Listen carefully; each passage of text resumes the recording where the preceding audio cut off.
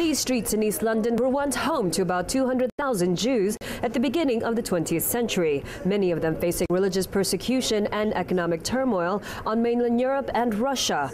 Now that number has dwindled significantly, but there are still remnants of the past.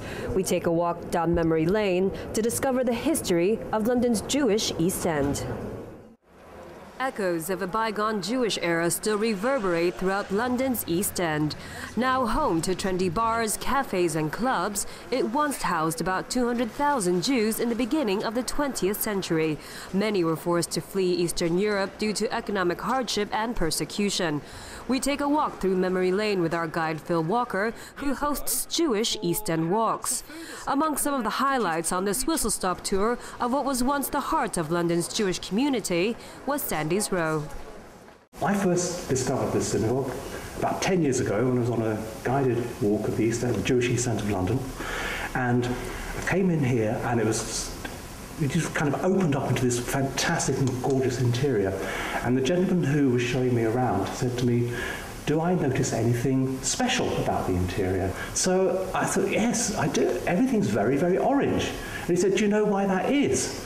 So I said, um, I'm not sure. So he then told me that this synagogue was founded by Dutch Jews, um, 1854, I believe, and the national colour of Holland is, of course, orange. Sandys Row is London's oldest Ashkenazi synagogue with a stunning interior and seemingly original fixtures. Trevor Marshall is the Secretary of Marriages. Sometimes when you talk about the East End to people who live in the suburbs, it's sort of, oh, I don't want to talk about that. Um, they were bad times. Um, we were never that poor. Um, we could my family could never have been that poor. Um, but the reality is rather different, and there may be a bit of self-denial here. So um, it, it's good that we keep this flame burning so people can see what, what, what Sandys Row is, what it represents. Next, we headed to the Jewish soup kitchen for the poor. Soup kitchens used to be all over the East End of London and they were very, very necessary. People didn't have food to eat, they didn't have shoes to wear, the poverty was unbelievable and there was no welfare state to pick up the, uh, the remains, to, to, to lift people out of the gutter. So these institutions fulfilled a very important purpose. On Middlesex Street is still home to Kossoff's Bakery, where you can pop in for a salt beef bagel.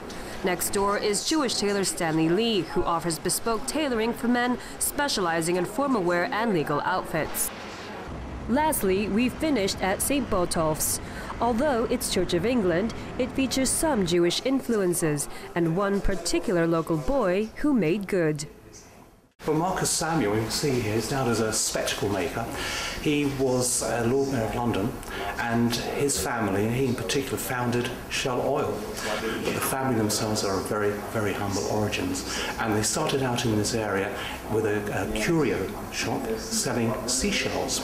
Victorians loved seashells, and so when he discovered the benefits of kerosene, which became oil, the symbol of his, of his newly founded company was a shell.